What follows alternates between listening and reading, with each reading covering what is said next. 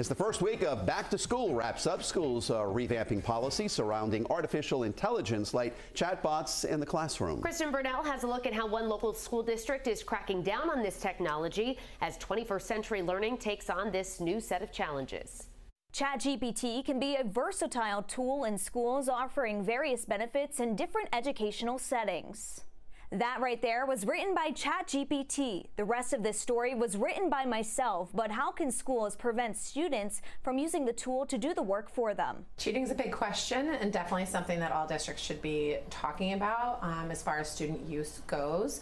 Um, Narragansett in particular blocks ChatGPT for the classrooms within the school building. Hundreds of students in Narragansett will return to the classroom next week and will be getting guidance on how to use ChatGPT and artificial intelligence in their studies. We found some curriculum that we really like living at the middle school, and then we're continuing to try some content at the high school. This is all brand new.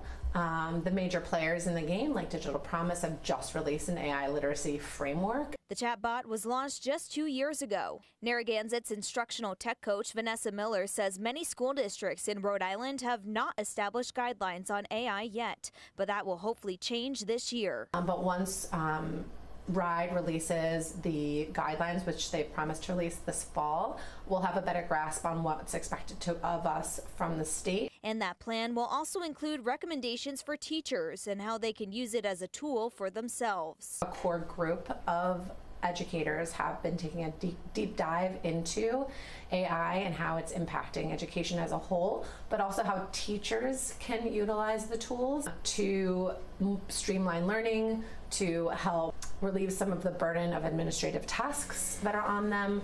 Congressman Gabe Amo has introduced a bill to help develop an artificial intelligence literacy curriculum for schools and provide tools for educators to teach it.